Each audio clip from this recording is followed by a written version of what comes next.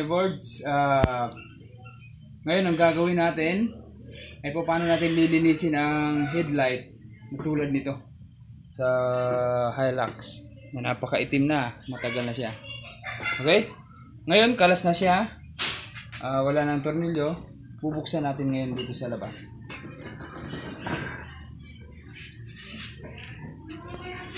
Okay, na ngayon. Buksan natin.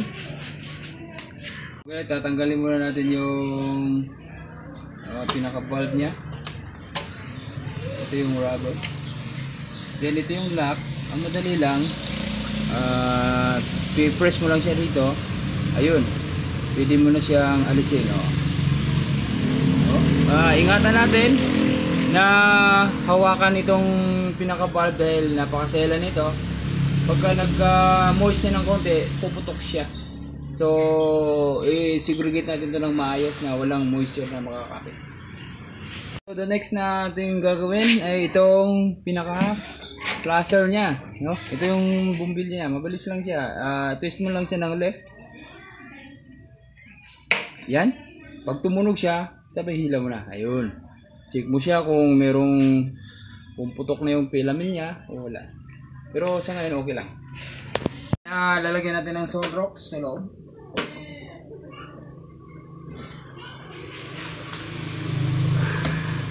Ah, tingnan natin yung dating itsura niya.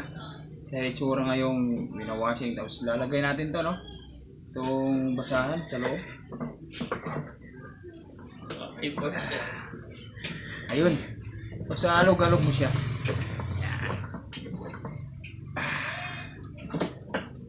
Okay. Check natin, no? Oh, wow. Pumunti na siya mga ka-informs, oh. Nagmukha siyang ilaw. Pero dito, parang black eye siya. Okay, okay, sige.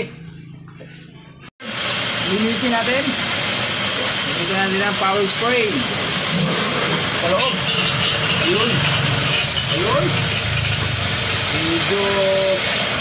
Ayun na. Pero ang nakakuha lang sa sa banda ay... Ayun, hindi talaga. Suko na si Linus Boy.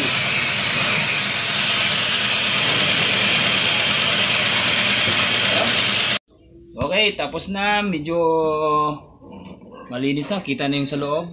Bibilad na natin to ngayon sa araw. Hayaan nating matuyo. Para maalis yung moisture. Okay, bibilad natin to dito. Araw. Hayaan nating matuyo siya. Within two hours.